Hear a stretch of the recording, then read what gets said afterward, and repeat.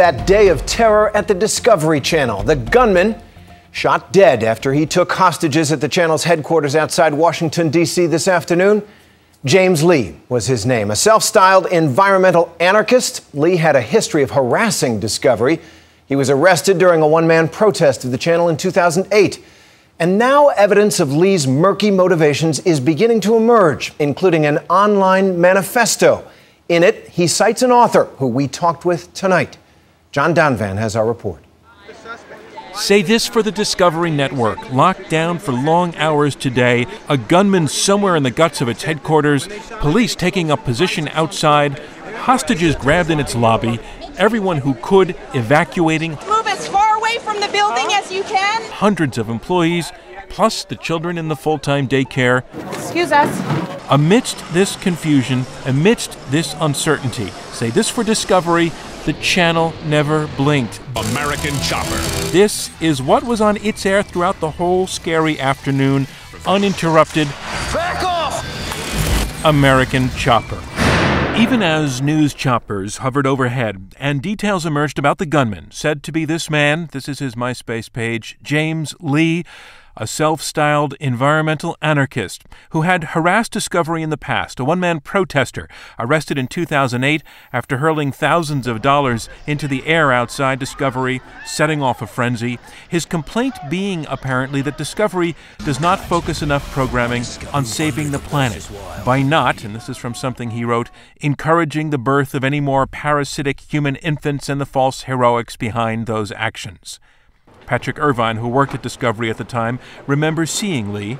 He was under the belief that Discovery was propagating the exploitation of the planet by promoting uh, procreation. And also, he referred to them many times uh, as committing war crimes. Lee's MySpace page also cites as inspiration a book called My Ishmael, a novel about an intelligent gorilla who shares wisdom with the human race. It has earned its author a small but devoted following. Not that he's ever heard of James Lee or understands why he would do this. I don't know why he happened to latch onto my book in particular. It's not easy to see how James Lee did take away what he took away from it. Uh, it it's so, such a distortion of uh, My Ishmael. The thing is, while outside none of us could see much of anything, inside they had security cameras going. And David Levy, a Discovery executive who stayed inside after everyone else left, could see that it was Lee and he recognized him.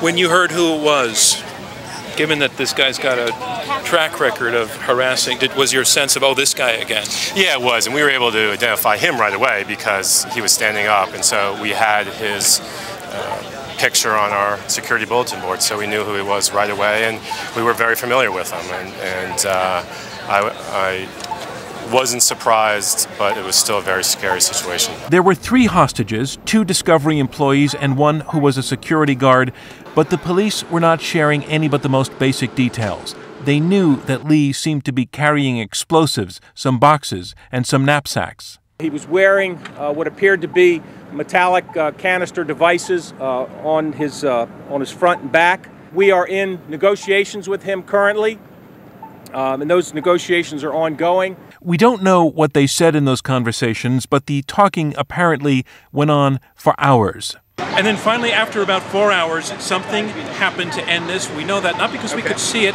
but because we could hear it barely. And when I say barely, we're going to play you the tape now. Listen very closely. Our camera was on the building. That beeping is a crosswalk signal. Well, George Those voices, the voices of reporters. But then, this sound. It's a single gunshot. Listen again.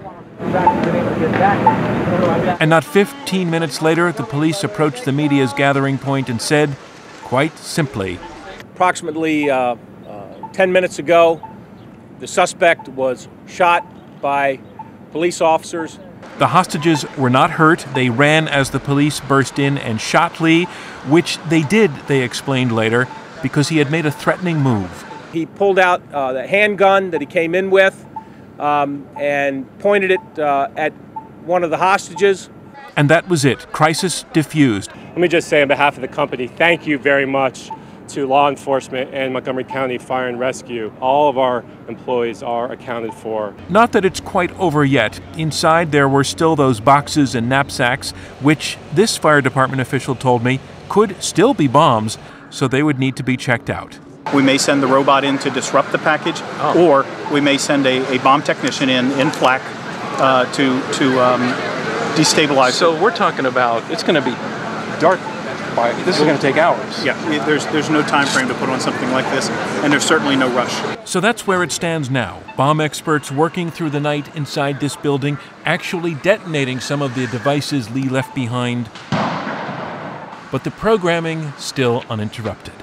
I'm John Donvan for Nightline in Silver Spring, Maryland. The Discovery Channel's horrific day. A statement was released tonight from one of the hostages, Jim McNulty, a senior writer at TLC. Quote, I thank you all for your concern during these harrowing hours, he said. Our thanks to John Donvan for that report.